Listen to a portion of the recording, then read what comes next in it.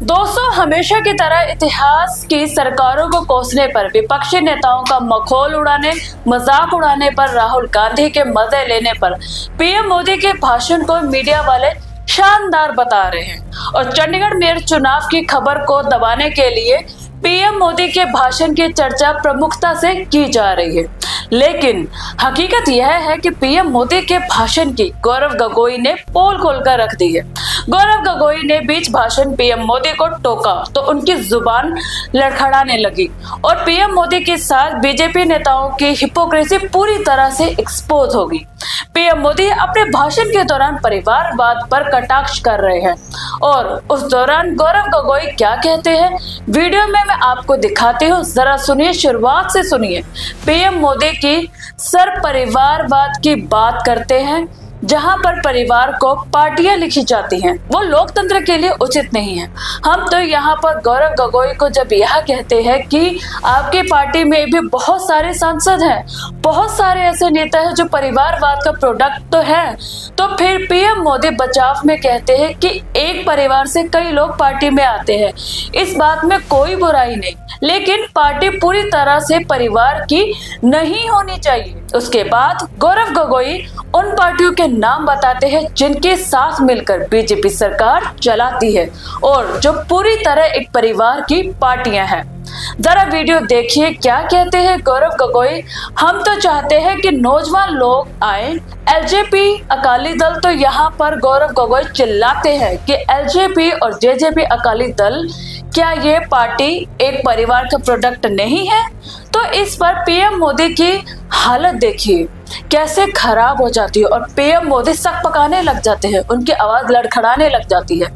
जरा सुनिए, हम भी चाहते हैं कि इसकी चर्चा आप भी करिए हमारे साथ। तो यहाँ पर इस बात का तर्क पूर्ण जवाब देने की बजाय अकाली दल जेजेपी और एलजेपी पर बोलने की बजाय पीएम मोदी कहते हैं कि आपके साथ हमारा कोई विषय नहीं है, क्योंकि गौरव गगोई भी तरंग गगोई के ही बेटे हैं।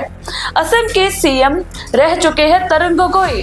तो अब वह कहते हैं कि आपके साथ विषय नहीं है। विषय की इस बात को लेकर है कि एक परिवार की पार्टी पूरी तरह से नहीं होनी चाहिए। और यह पीएम मोदी भूल जाते हैं कि गौरव गगोई ने कहा था कि अकाली दल भी एक परिवार की पार्टी है। एलजेपी एक परिवार की पार्टी है, जेजेपी भी एक परिवार की पार्टी है। उस बात का पीएम मोदी का कोई जवाब नहीं दे पाते। और देखिए एक बार, फिर देखिए किस तरीके से उनकी ज़ुबान लड़खड़ा जाती है इस बात पर।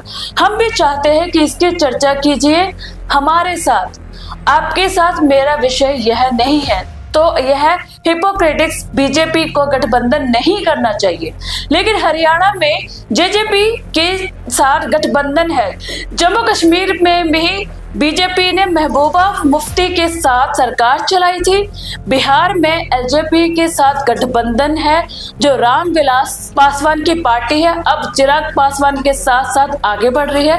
बीजेपी अकाली दल के साथ सालों तक गठबंधन रहा पंजाब में तो फिर बीजेपी नेताओं को यह कहने का अधिकार कैसे है?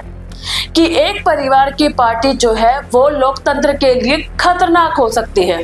अब आप सोच कर देखिए कि उन नेताओं को कितना बुरा लगता होगा, जो बीजेपी के सहयोगी हैं, जो पूरे चाव के साथ प्रधानमंत्री से मिलते हैं बार बार आभार प्रकट करते हैं और संसद में प्रधानमंत्री उनको ऐसे बेइज्जत करते हैं तो कम से कम अपने सहयोगियों को इस तरह बेइज्जत तो नहीं करना चाहिए। अगर परिवारवाद से इतना दिक्कत है तो बताइए अमित शाह के बेटे जय शाह को किस आधार पर बीसीसीआई का सेक्रेटरी बनाया गया? उनके पास क्या काबिलियत है? क्या अनुभव था क्रिकेट चलाने का, जो अचानक इतनी बड़ी पोस्ट उनको दे दी गई? साफ़ तौर पर परिवारवाद की वजह से यह पोस्ट उनको मिली ना?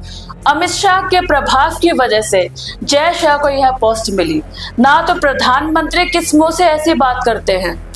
अब परिवारवाद को लेकर पीएम मोदी के ऐसे हिपोक्रेटिक्स में उन्हें एक्सपोज कर दिया गया और प्रधानमंत्री को कोई तर्कपूर्ण जवाब नहीं दे पाए।